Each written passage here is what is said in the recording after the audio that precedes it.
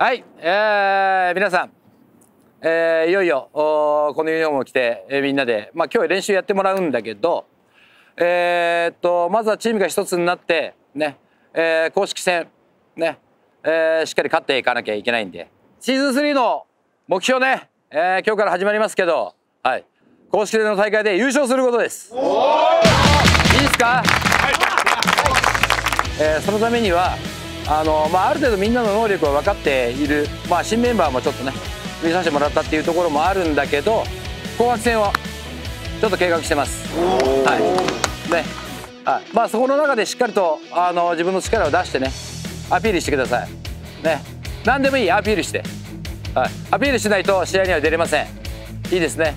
はい。ね、力があるないっていうのも当然あるかもしれないけどどうやって自分をアピールするかっていうところもあるんでねしっかりやってほしいと思います。まあ、レギュラーを取るのも大事だし、ねえー、勝つために、えー、自分たちが何をしなきゃいけないか役割分担、ね、これチームでやる限りは必ずある。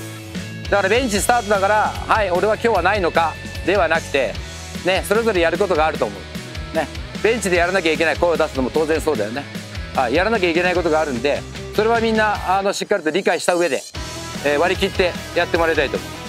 みんな気合い入れ直して、ね、しっかり頑張っていきましょう、はい、よろしくお願いします。ということでその中で、はい、ちょっとゆみくんから。はい、はい、えー、今回、えー、シーズン3から、えー、キャプテンとしてやらせていただきます。いぶきです。よろしくお願いします大丈夫大丈夫です大丈夫です。えーと僕自身正直今左腕を骨折していましてまあプレーは正直不可能かなというふうには思っています、うん、プレーができないからこそ僕は多分常に個人個人の方々を見ることは絶対にできると思うので僕は、えーと、キャプテンとしてまずは周りの一人一人の個性を活かせるように、えーと、一人一人しっかりと見ていきたいと思います。よろしくお願いします。よろしくお願いします。キャプテン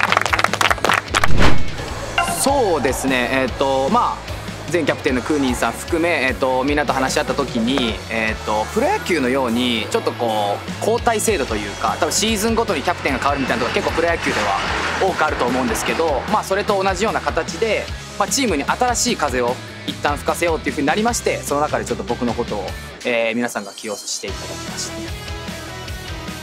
た。いやもうなんか本当にありがたいことにあの快く頑張ってくれとチームを引っ張ってくれというふうに言ってくださったので温かく見守ってくれましたまあそのまま、えー、チームのいいいい部分をクーニンさんから引き継がせていただきましたし、まあ、新メンバーも増えたので、まあ、そういうところでフレッシュさは多分出てくると思うのでその新しいエッセンスを生かしてこうフレッシュにできるようなチームにしていきたいと思ってます。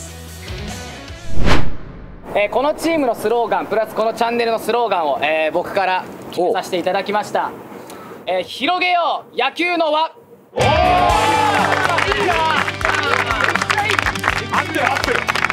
えーと、このスローガン、えさせていただいた理由がこのチームすごい稀だと思います、えー、初心者の方ももう3人いるしその中でま野球を多分もう5年ぐらいやってないとか多分いろんな人たちがいると思うんですけど、うん、まあ、このチャンネルを通してまずは、えっと、野球の楽しさを、うん、まあ、いろんな方々に知ってもらえたら一番いいと思うので、え、うん、このスローガンにさせていただきました、えー、楽しく明るく、えー、真剣にやっていければいいと思っています。そしたら、えー、練習していきましょう。よろしくお願いします。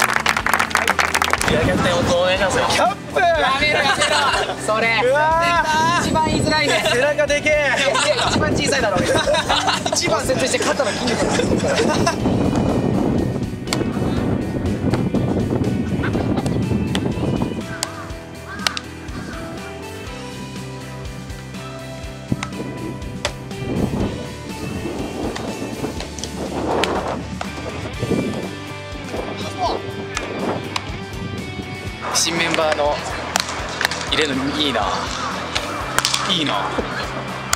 ピッチャーがめちゃくちゃ多くなったから。チーム的には超良かったです。面白くなりそうですね。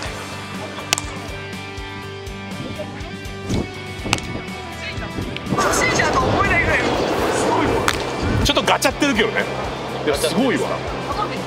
いやめっちゃいい。ガチャってるってなんすか？要は正義とか見たら分かるけどこっからスーっていってるやん。でも君の場合はこっからガッてなってる。ガチャってるっていう。誇張しすぎた最後ね本当あのもうメロン。顔やってるやん。顔なっとんなってへんよ久保さん実はあの騙し騙しやってたんですけどうんちょっと持っててうん。ちょっと持ってましてああああ実ははい。あ悩んでます。悩んでるとか？ここで人を常に見るようにして。あここここですか？そうそう。ここで常にはい。こういったらこここでこうやって常に見て、はい。投げる方は体の回転でボールが離れるんで、はい。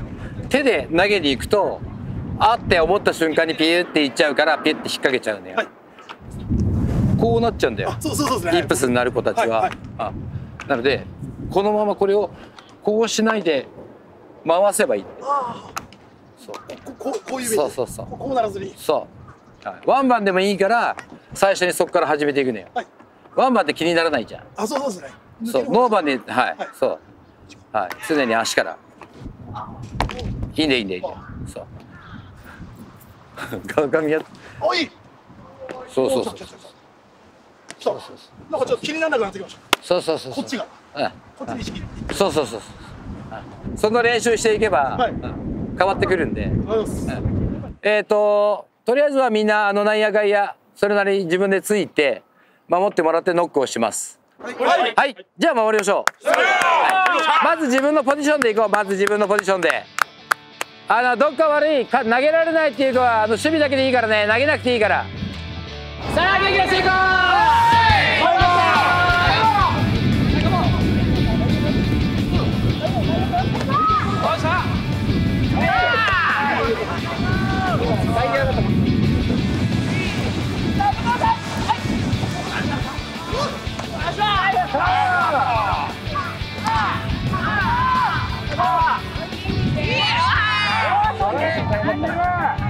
いよいよ出発しろ出発しろ。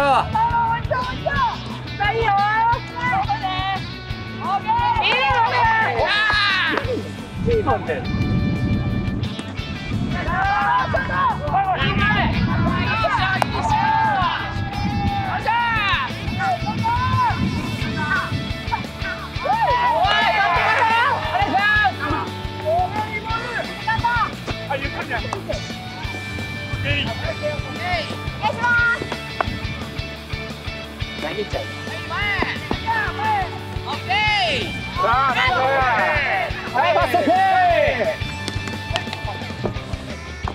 いいよいいよいいよいやーケー頭でオッケー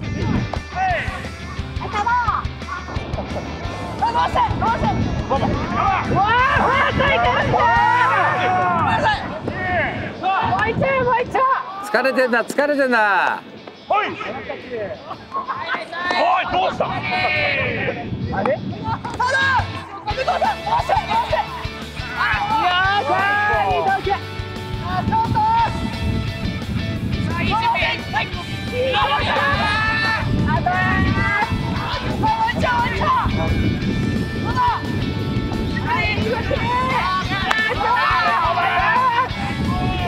オッケーいや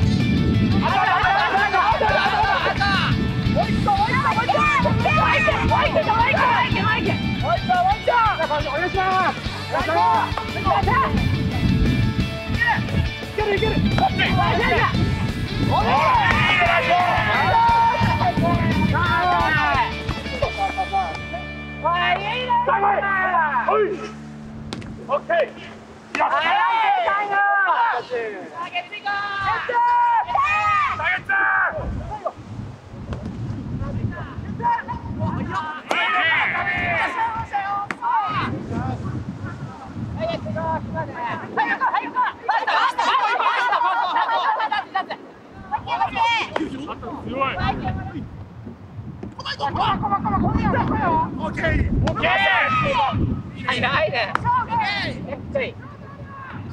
はい。我来警告。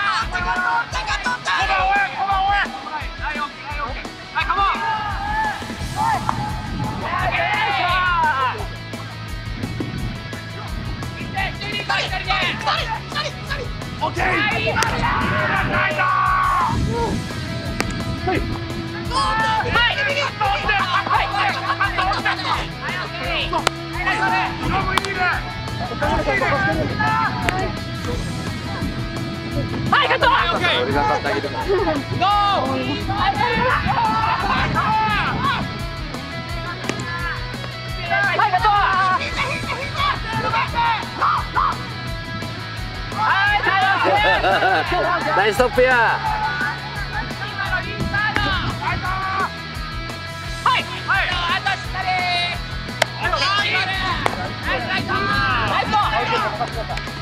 勝ってるよ勝ってるよ勝ってるよ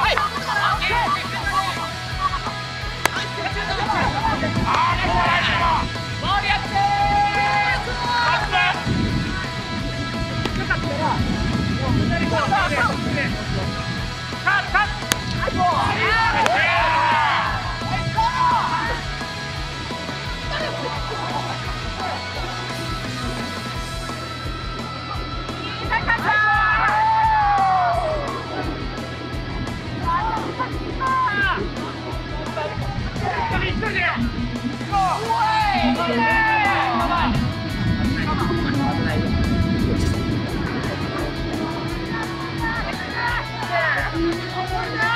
ちは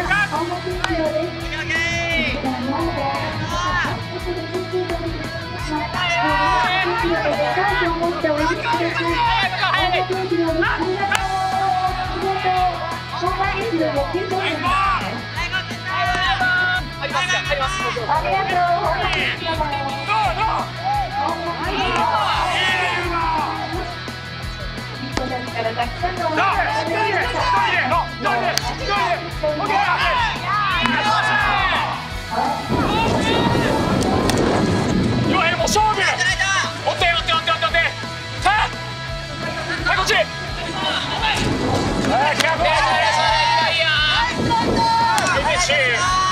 かけて追いかけて追いかけてオッケーオッケー一枚で来いよあら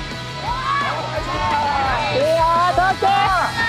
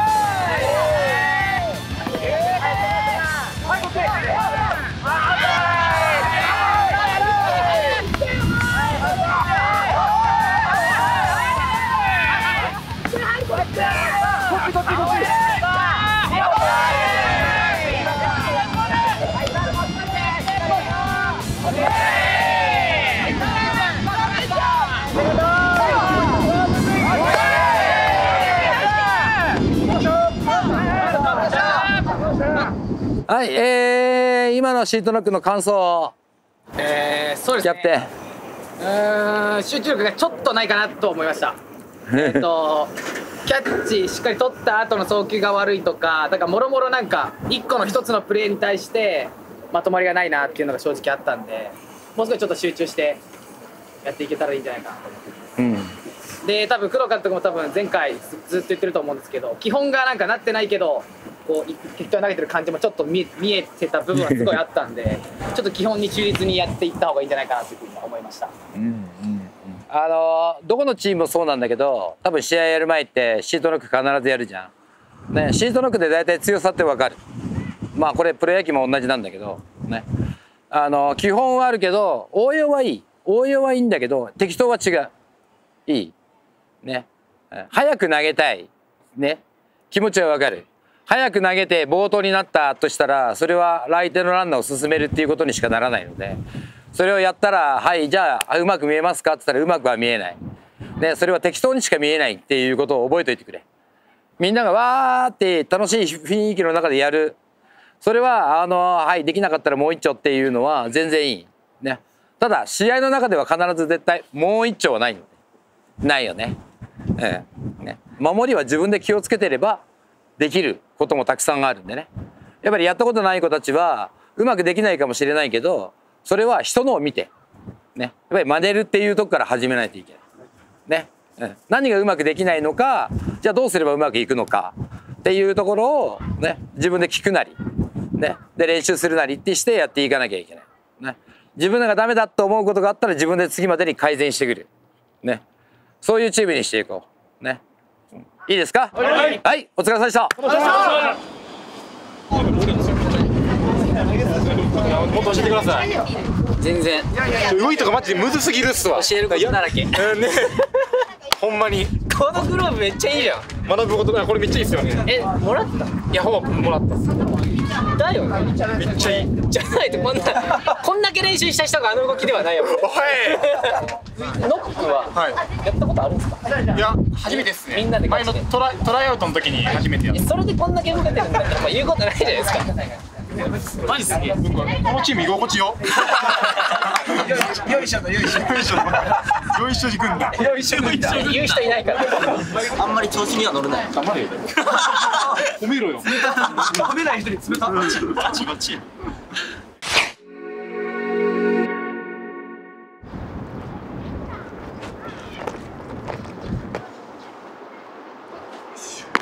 足を上げた方がいい。足を上げた方が。足を大きく上げて。そうそうそう前に行く力だけでいいんだよ。前にこう行くじゃん。ビューって行くじゃん。もうこの力を存分にそのままバーンってぶつけるだけ。それ以上考える必要はない、あ腕を速く振ろうとかいうことはない。こうやってビューンっていったらそのままここでパンって。はい、最後ここでここでパンって振るっていいはい。叩くっていうイメージだけでいいで叩くっていうと強く叩こうとするんだけど、はい。違う。強くじゃなくてパンパンってこう短い。こうバーンっていうんじゃなくてパン。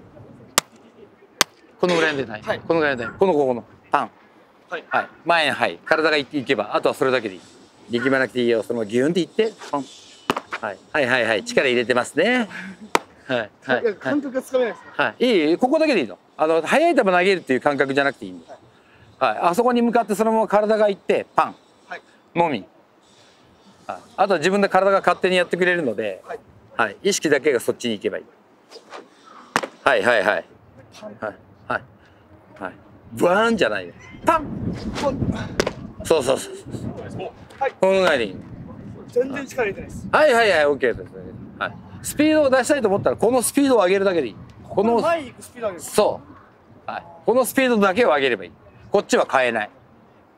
そのスピード上げたい時って足を上げてえーっ。ていくでしょ？はいはいはい。えーじゃないんだよ。ヒュッパンぐらいです。ヒュッパン。そうそうそうそうそうそうそうそう。そうはいはいはい。はい。全然はい。力入れてなくていい入れなくていい。力でやっても、はい、意味はない。よいしょはいはいはい。それをやると肩の負担が減る。はい。はい、前さえ行ったらあとは勝手にや体がやってくれる、はいやってくれるんだよ。自分でやっちゃいやるん。じゃない自分でやるんじゃない。やってくれる。やってくれる。そう。そう。うわーすすごいな。う素直に素直に素直に。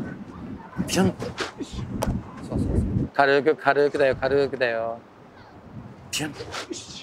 はいはいはいはい。はいナイスボール。はいはいはい。グッありがとうございました。グッありがとうございました。すごいな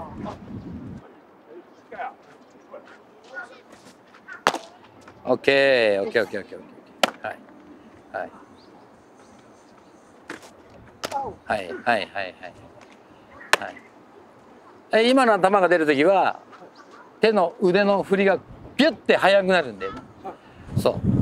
イメージは速くするのはどこかっていうとボールを投げた後ぐらいが一番速いイメージ。まあ、さっきのそうそうそう。ここで入っちゃいけないんだよ。こっから体幹がギュッて回った時から速くならなきゃいけないんだけど、うん、速い球投げようっていうこの特徴として腕を速く振れば速く速い球が行くんじゃなくてこの移動の時間が短短くて速く行けば行くほどスピードが上がるって。その分抜けるの。抜けると自分のいい動きができる。いい動きができるんだよ。そう。いい動きができた時はいい球しか行かないから。はい。自分のリリースの先が一番速いイメージ、先が。はいはいはいはい。今のいいですねえ。ーね気持ちよかったです。えそう。や、そのぐらいでいいんや全然力入れてないです。そうそうそういいねいいね。力入れないで。お前の体が勝手に自分でやってくれるんだよ自分を信じるってことです。そうですそうです。自分で。はい。あじゃあいいわ。はい、はい、自分の範囲です。そうそうそうそうそう。はいああ。いい回転。いい回転。はい。いい回転。はい。はい。おーいいボール。はいの方が楽だべ。楽っす楽だよね。ね。ぐわーって入れるとなんか疲れるべしかもさっきとあんま変わってないです、うん。むしろこっちの方そうでしょ？はいそうだから自分の体が使えるようになってくれば、結局はなんか一個の力から大きな力を出すじゃなくて全部から少しずつ少しずつこう集めていって最後ここでパンって集約するってそれでもまああの全部使えてるかっていうと多少なりともこぼれてるんだよ力はね、はい。それでも自分の中で言うとここにパーンってなんか集まったような気がする。はい。それが一番いいボール。一番いいフォーム。ね。これはみんな違うんだよ。はい。10人いたら10人違うのででそのパーンっていうこの感覚を掴んで練習をできるのが一番。プレッシャーをかかけるよ、、はい。いツーストライクワンボール、アウトコースのまっすぐ。はい、これで決めるって。はい。決めるっていう時に力ではない。どこを気をつけてパチンって投げればあそこへ行くかっていう。はい。やってみましょう、はい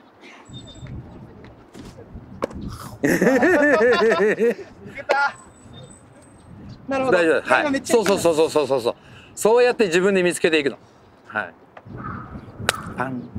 パン。ここだ。うんおお近い近い近い近い近い近い近い。惜しい。そうそうそう。押し押し押し押し押し押し押し押しそうやって自分で練習してる時にカウントを自分で作って決め球みたいな練習も面白い。ああなるほど。そうそうそうそうね。ね、はうん、あまりやらないじゃん。いやらないです。でも実際試合にはあるじゃん。大事な部分大事な面があるじゃん、うん、そういうところで自分でビューンって抜けちゃう球じゃなくてパチーンって決まってっていうのはねすごいこう自分の中でやった感があるじゃん、はいはいはい。そう。でそういう練習のせそういう練習も一つの方法。なるほど。そう。いい球がいってる時ね。ダメな時にやっちゃダメだよ、はい。うん、ああ自分で感じがいいなって思った時にパーンとそういう練習をすると、はい。そのイメージがすごい自分で固定されるようになるんで、はい。うん、それが試合にも出るようになるそうね。そういうやり方をしましょいやめっちゃ面白いです。うはいはい。ちょラスト決めます。はい。ラスト決めいいよいいよ。ラストラスト。はラストバシッと。次は。ラストね。い。ギュン。そうそうそうそうそうそうそうそうそう。そう。その自分のタイミングを覚えてね。はい。覚えてね、はい。まあなかなかすぐっていうわけじゃないないのではい。またアドバイスをするようにはするから。ねいい時のボール悪い時のボールなんとなく分かるじゃいやめちゃめちゃわかりました。んね、うん、感覚も分かるでしょ？はい。はい。はい。それでやっていきましょう。ありがとうございます。はい。皆さんがふぬさん。ふぬさ強肩。んありがとうございます。ね球はいい。全然早く投げられないですけど。おおはいはいはい。はい。メイちゃん向こう構えて。はい。これここにいるね意識しすぎ。はい。もうちょっと意識しないで。はい。ただアウトコースっていう意識だけ。俺はここにいるだけなの。そうそうそうそうそうそう。さっきの抜けたボールと今の違いは？開きですか？俺？今開きうん開きっていうのもあるんだけど開きは向こうに行っちゃうんだよ。極端に言うとこうやってくるんだけど最後にこっち側が投げる前にこっちがこうなるのねだからボールがピュッと抜けちゃうんでこれが俺がここにいることによってあんまり向こうにも行けないし前に投げなきゃいけないとでこっちはこうもできないじゃんでそうするとこの腕は何をするかっていうとこう離れると当たっ当たっちゃいそうになると自分の中では絶対外こうならないようにするじゃん。あでその分体ので円の軸が小さくなるじゃん。そう小さくなった分だけスパンっていく。そういわゆる周りブワーって大きかった円がちょっと小さくなります。そうすると自分の思ったところに投げれる。そうだよね。円の円のこう回転のスピードが同じだとしたら小さい方がコントロール効くやんね。イメージ的に。そう。はい。大丈夫大丈夫。ビューンってやらなくていいよ。はい、ここだけここだけイメージイメージインパクトだけっていうパンパンだけ。そうそうそうそうそうそうそう。そうそうそうそう。ぐわって入れちゃダメ。はい。っていう感じ。はい、ここだけ。そうそうそうそうそうそうそうそうそうそうそれに近い。これだけの体があって投げれるんだから勝手にその力を使えれば出るの。信じろ出るんだよ。出すんじゃない。はい。自分の動きさえちゃんと作れれば出る。はい。最後のここだけや。そうそうそう。どの人間だって関節は必ずあってその関節をこう使って投げてれば大きな力にはなるので、ね。自分は体が小さいからもっとビューンって腕振らなきゃいけないんだっていうのは間違いです。はい。その時間があるんだったらこのスピードを速くしてください。変身運動の時間を速くすればその分スピード3キロ上がれば3キロ上がります5キロ上がれば5キロ上がりますウェイトトレーニングでガーってまあまあそれも方法はあるかもしれないけどそれよりもこのバネのある体を使った方がいいじゃんね。でしょ？バネないんですか？走り方見てたらありましたけど。あったよね。ねねバネばっかだったよね、はい、それを使ったら、はい、全然いいの。お尻を向けて。にゃんそう。にゃん。いいですね。今のめっちゃいいはいはいはいはいはいはいだからその分だけこうギュンっていけばいくほどここが自分でも思った思ったよりもピュンって触れちゃうわけじゃん。振るんじゃなくてね。そう。それでいいんだよ、ね、本来はそこそこでそこでなきゃいけない。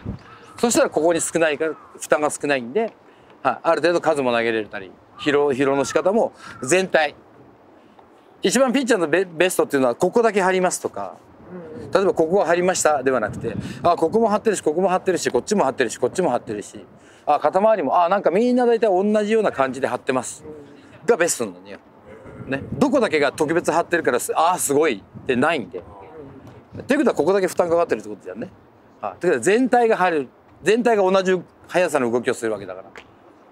常に全体が張るのがベスト。どっかだけ張るっていうのは本来はダメ。はい、やってください。はいお疲れ様です。ありがとうございました。ありがとうございました。ありがとうござい。ましたそこの線上に足出すでしょはい。だからそこバット出してボールの線上にバット出してくれば当たるやん絶対はい。岩城君のはどっちなんですかどっちかってい。うとこうなんやはいはいでもこうってさワンチャンスしかないですここに来たらそれ打ってる、でも冷静に考えたら何回もチャンス欲しいじゃんバッティングあの。みんな上手くないから、こっから入れてったらめっちゃチャンスよここでもチャンスあるここでもあるチャンスあるここでもチャンスあるはいはいボールのラインにバットが入ってきてるからああ横そうでしょでもこう打ったらあ一個だけ。そう。えー新メンバーのカイトさんに、まあ、バッティングを教えてもらってそこでも結構まあ分かりやすい教えがあって、まあ、今まで教えてくださったいろんな方の教えにプラスしてちょっと自分の形が見つけれそうなので紅白戦までにその形を見つけたいなっていう感じですね。いや正直焦ってます。僕的にはあのーやっぱりもともと注目してたのはあのーまあ、元のメンバーの中でも初心者が僕だけだったので次のメンバーで入ってくる初心者の、あのー、イラチャンネルの2人はもう本当に見てたんですけどうまいです。僕がこう上から言えないんですけどやっぱ初心者にしてはやっぱいやうまいなっていうのがあってやっぱ不安ですね。今後ライバルになっていくんだろうなっていうので不安になりました本当に公式戦ってなってくると野球人としてチームメイトとして力を出せないと本当に何だろうチームにいらない存在になっちゃう気がしてるので、まあ、声はもちろんのこと、まあ、技術面でうん野球をやってた人たちを脅かせるような存在になりたいです。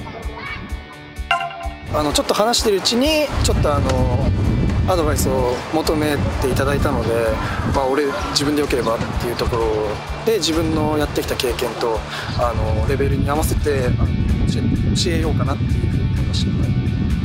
めちゃめちゃ真面目だと思うしやっぱりあのバッティング練習バッティングセンターとかで行ってるっていうそういう真面目な人僕好きなんであの迷惑にならなければあのこれからもあの軽いアドバイスたくさんできたらいいなとあの実力言ったら川上は気になりますね、まあ、普通に野球めちゃめちゃうまいと思うんでまあでもそうだな、まあ、負けないように頑張ろうかなと思います。そうですね。僕自身は、まあ、スタメンで、まあ、出さざるを得ないレベルだと自分で思ってるんで野球のレベルが。あの川上さんとか緑川さんとかクーニーズやってるんでクーニーズさんとか研究してるんであの徹底的にボコボコにしてやろうかなと思います。野球の厳しさを新メンバーが教える形で。でやっぱそこで厳しさを知ってもらってみんなであの、まあ、大会優勝するっていう目標っていうのを今日ちゃんと聞けたんでじゃあガチでやろうかなと思います、まあ、そういう目標があるんでここはバチバチにやり合おうかなと思います。実際にこうシードノックのみんな一発目を見たらやっぱ動けてますし元気はつらつとやってくれてたので負けないように僕も頑張っていきたいなと思いました。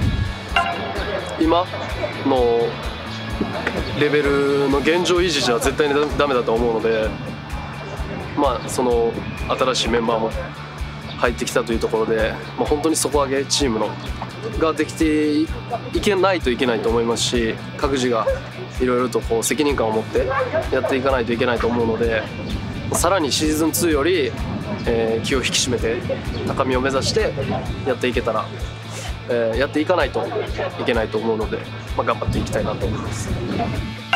いやなんか大所帯になってすごくなんか活気があったんじゃないですかね活気があったんですけどもまだこうあの探り探りの 感じだったんであのまあみんなとにかくなんかテンション上げてみたいなところがちょっとああいうなんかまあミスも生んでしまったというか少しその、うん、わちゃわちゃが雑なプレーになっちゃったのかなっていうあのイメージありましたけども、まあ、すごくこう大所帯でやれたっていうのはあのやっぱなんか嬉しかったですね。はい。こうきくんもすごくあの入念にアップして数年ぶりの野球って言ってたんですけどあの左でねバチバチいい球放ってたんで若い子たちに負けないように、まあ、一緒に切磋琢磨して頑張りたいと思いましたね。はい。そうですね。自分自身もうちょっとなんかいい守備できたなっていうところがちょっと心残りなんですけどでもなんかすごいみんななんかがっつり野球してるなっていう感じですごいレベルも高くて、まあ、あともうちょいもうちょっと、まあ、まあ初回練習だったんであともうちょっとチームワーク良ければ本当にもっとすごいいいチームになるんかなっていう楽しみな気持ちが多いです。レギュラー争いになっていくと思うんでいいアピールできるように頑張りたいと思います。まあもちろんやるからにはみんな優勝優勝目指してやってくると思うんでその他のチームの気合に負けないように自分たちも、まあ、これからの練習もっと詰めて頑張っていきたいなと思います。みんなやっぱ動ける子が多いのでやっぱりすごい頼もしいなって。同じチームでよかったなと思います、はい。まやっぱりそのチームとしての、まあ、試合慣れというか新チームがねやっぱり新メンバーが入ってきて新しいメンバーが入った中での試合ってまだしてないんでそういった中でのこうコミュニケーションの取り方だったりとかそういうとこはすごい大事になってくるんじゃないかなと思います。はい。もしクーニーさんがキャプテンを変わるんだったら、まあ、伊吹だろうな次はって思ってたんで。実は伊吹ともそういう話過去にしたことがあって。伊吹キャプテンしたくないの？みたいな何回かしたことあったんですけど、まあ、伊吹キャプテンで僕は良かったなと思います。あクーニーさんはクーニーさんの良さがあったんですけどやっぱりそこで違いを出すにはやっぱりこうフレッシュさというか若さがあったらまたシーズンが変わった時にクーニーさんとの違いが出せれていいかなと思ってそういうふうに思ってましたね。はい。なんかちょっとピリッとこう気合の入ったっていうかちょっと競争感が増したんじゃないかなと思います。えエンドレスのコバ君はめちゃくちゃもう刺激になるなと思ってて守備の面でかなりこう、まあ、強力なメンバーが入ったので、まあ、すごい僕もそういう人らと一緒に練習することで、まあ、ここからまだまだ成長できるだろうしまだポジション争いだったりとかはできると思うんで、まあ、本当に、まあ、楽しみでしかないですね。もう伊吹は今まであの、まあ、骨折して、まあ、ほぼほぼプレーの機会はなかったかもしれないですけどただそれの中でも存在感ありますし伊吹って本当鋭いんですよね見てるっていうかあのこう鋭いこと言ってくれるんであ確かにな納得させられるようなあのことズバってこうたまに言ってくれるんで、まあ、そこは本当にあの期待できるっていうかあの僕らのまあ支柱に今後またなっていくと思います。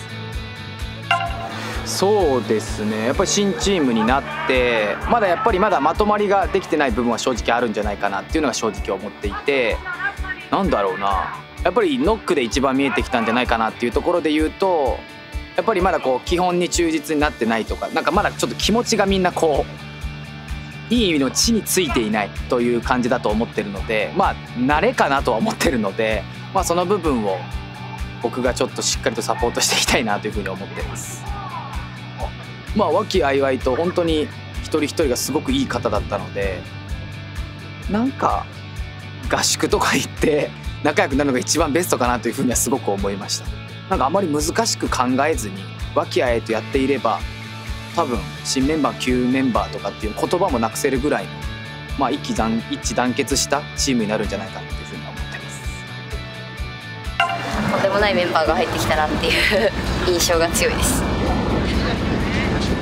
やっぱエンドレスの近谷君とかコバ君ですね。やっぱあの2人はなんかこう飛び抜けてじゃないですけど、まあ、肩は強いし。でコバ君に関しても足の使い方一番うまいんですよやっぱり。あの細かく足入ってくるとかやっぱこう守備が全体的にまとまっててやっぱこうすごい真似したい選手かなっていう印象です。私まだヒット打ててないんですよ。シーズン1でも2でも。そろそろやっぱ自分の中で危機感もあって結果的にも残さないといけないしあとはもうスタメン争いっていうのが完全に行われるのでそこでスタメンを取ってやるっていう気持ちとあとはそうですね。この人数増えた中でやっぱりこう存在感っていうものを出していきたいなと。やっぱみんな基礎がしっかりできてて上手だなって思ったんですけど、まあ、あとはファインプレーがあった時の声かけとか活気の良さが素晴らしいなと思いました。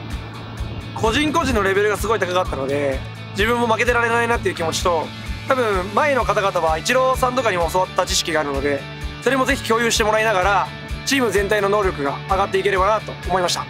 非常にレベル高い選手たちが揃ってるなって思いました。負けないように頑張りたいと思います。ノックとか一緒にやらせていただいてもやっぱ声かけとか連携プレーとかそういう昔からやっている選手たちはそういうのができているので僕たちもいち早くえーチームに馴染んで早く一員になりたいと思います。やっぱ自分の弱点が肩とバッティングなんでそこの弱点をなくせるように、えー今シーズンはみんなでしっかり力を合わせて頑張っていきたいなと思います。大会優勝っていうのは多分個人の力じゃ優勝できないと思うのでチームの支え合いだったりまあ誰かが調子悪かったら誰かが調子よくてそれをカバーできるようなチーム作りができればおのずと優勝見えてくるのかなと思うのでその辺もみんなで声かけ合いながらいろいろ調整していけたらなと思ってます。えーっとですね正直キャッチャーが いなかったので、あのそういう意味ではライバルと同じポジションを争うライバルっていうのはいないと僕は思ってるんですけど、まあ、それプラス僕のポジション的に責任的には僕がこう争ってる場合ではないなと。僕はもう一応ポジション与えられてるとある意味自覚を持ってチームのことをと自分のこと以上にというかみんながこう自分のことで精一杯になってるとしたら僕はチームのことをもっとあの冷静に見れる立ち位置にいたいなと思います。勝ち続けるっていうところにこう重きを置いて、まあ、やっぱり試合があれば全部勝ちたいのでそこの気持ちを今までよりももっと強く持っていかないと勝ち続けるってことは大変なのでうんとにかくもっともっと厳しく楽しく一生懸命やっていきたいと思います。やっぱり皆さんレベル高いなと思って、まあ、肩は強いですし、まあ、あのアップの時とかでも足が速い選手もいましたしすごいレベルが高いなと思ったので、まあ、ちょっと自分のこの強みを発揮していかないと試合に出れないかなとは直感あの率直に思いました、今日ピッチング見てもらいましたけどあの自分の中の意識が全然、まあ、全然ダメというかあこの意識だとこうなるんだっていうのが体のメカニック的にあの工藤監督が今日教えてもらってすごい新しい発見ができたのであなんかまだまだ野球上手になれるなっていうのが自分の中でも感じられたのですごくありがたい機会でした。あのーまあ、どこで投げるかは分かってないんですけど、まあ、先発を、まあ、狙っているので、まあ、先発ピッチャーとしてやらせていただくからには、まあ、ちゃんと試合を作れるゲームメイク力であったりとか、まあ、それにあの伴ってやっぱコントロールとかが必要だと思うので、まあ、コントロール、まあ、ストレートも変化球もちゃんとカウントが取れる変化球だったりとか、まあ、そういったところを磨いていきたいなと思いますしあと平均球速を上げたいなと思ってます。130キロを目指したいと思います。まあ、動きが軽やかな人が多いので多分きっと足速い人とかも多いと思うんで、まあ、打つだけじゃなくてそういう他の走塁とかそういうのでも点が取れるんじゃないかなと思ったのですごい楽しみになりました。まあ、もっとチーム一人一人のことを知っていったりとかもっと技術的な面でサポートできること例えばノックってあげるとかそういうのとかもやりたいなって思うし、まあ、スコアも多分書いなんか久しぶりに書いたんでこの前の練習ではちょっと容量が悪かったですけど多分慣れてきたら多分スラスラ書けると思うんで時間見てバット引きとかできたらいいなと思います。あのすごく刺激にもなりますし、えー外野手も今までなんだろうなそのポジションに1人2人ぐらいの感じでやってたんでっていうよりはこう一緒にこう守備ノック受けたりあのして、まあ、こうしたらいいねとかアドバイスし合えたり、まあ、そういう関係になっていけるのもすごくいいところかなっていうふうに思ってます。仲間なんですけど同時にライバルになっていく新しいメンバーと旧メンバーなのでそこをあの目立てるように自分アピールできるように頑張りたいと思います。まあ、シーズン3の最終目標が大会に出て優勝する難しいことだと思うんですよね一勝するのもまず僕たちにとって難しいことでしたからそのためにどう準備するかっていうのも大事だと思うのであのもちろん練習もそうですし工藤さんもあのいろんなメニュー考えてくれますからあの自分らでも工夫してあのこんなことができるんじゃないか人数も増えたんでその分練習の幅も広がるんであの個々の練習だったりとかそういうところも取り組んでいければなと思ってます。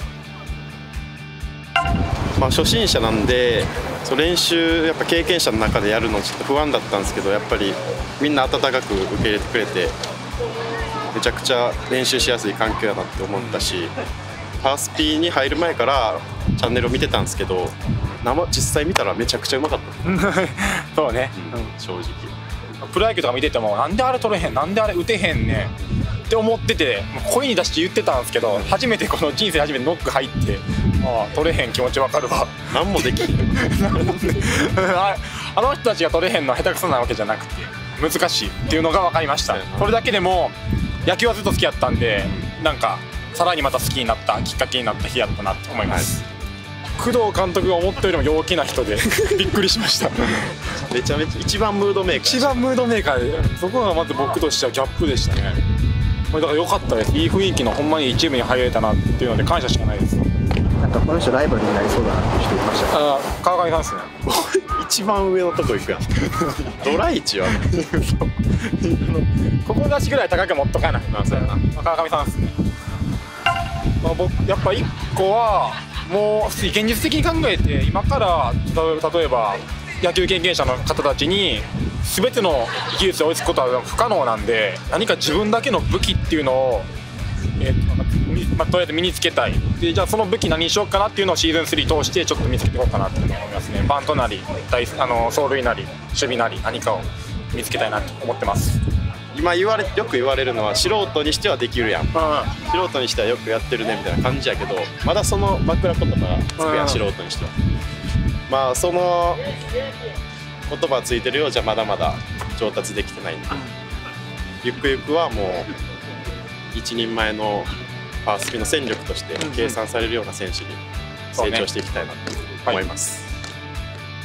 そうですね、まあ、あの旧メンバーっていうかね、からすると、やっぱりこう新しいメンバーが入ることによって、ちょっと引き締まった、えー思いもあるのかなっていうふうにも思うし、まあ、そういう中でね、えーまあ、やっぱりこう試合の中でやっぱり勝っていかなきゃいけない、ね、チームとして、えーまあ、これだけのメンバーが出てくれば、当然その中であの試合に出れないメンバーも出てくるだろうし、ベンチスタートというメンバーも出てくるかもしれないし、まあ、そういう中で競ってもらう、えーお互いがあの切磋琢磨していく、まあ、そんなチームであってほしいなとは思うので、まあ、あえてこちらからああしろこしろではなくてあとは自分でしっかり考えてで何が足りないのか、まあ、当然あのこのチームの中にうまい子もいるしうまくできる子もいるんでそうちょっとでもやっぱり自分が足りないなと思ったら自分で考えてやっぱり次までに、えーしっかりこう改善してもらう、まあ、そんなチームであってほしいなと。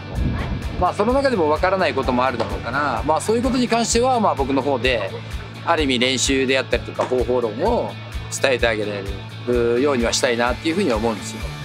まあそれぞれがね今までずっと野球やってきてそれなりにこう自分でね、えーチームなりでやって、えーいろんなところでやることで、えー磨いてきた技術もあると思うのでそれをパッと見た僕がねあれもダメだこれもダメだっていうのはおかしい話だと思うし大事なのは彼らを認めつつ彼らがもし何かで悩んだりうまくいかないことがあったらアドバイスできるっていうことそういうスタンスでいてあげたいなっていうふうに思うので、まあ、その中でしっかり試合にね勝つためにはまあ采配も振るわなきゃいけないし選手の起用方法も変わるとは思うんですけど、まあ、そこはねまたみんなといろいろコミュニケーションを取っていきながらチームで戦うっていうことをまたね、えー理解もしてもらいながらやっていけたら、はいえー楽しく明るくそして、えー野球やってる時には真剣に勝負にこだわってやっていくっていうチームができるんじゃないかなと思います。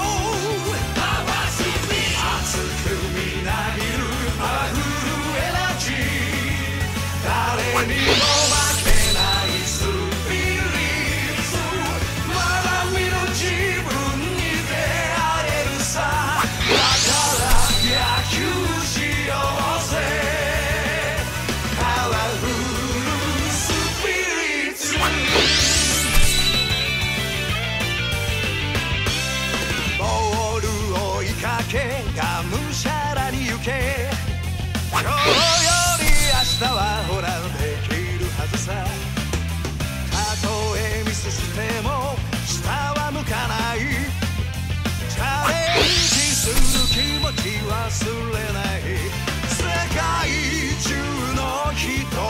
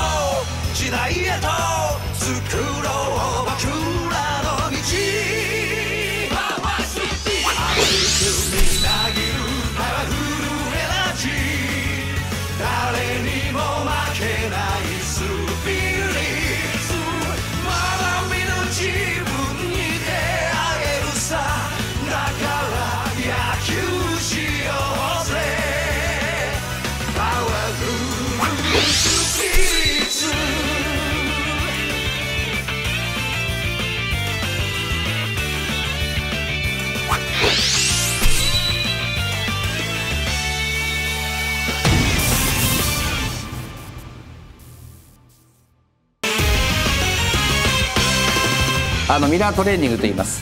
こっちの人が動いて向こうの人が真似る。よーいスタート。おお振られた。おおもうそのまま鏡や。もう映ってます卓球のボールです。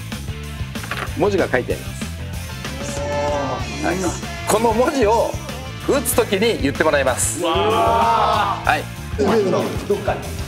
えやば見えました。八。十二。時間になっちゃって時間見えるか。うわ。9で。9で。9で。えー、そ素数素数。まだ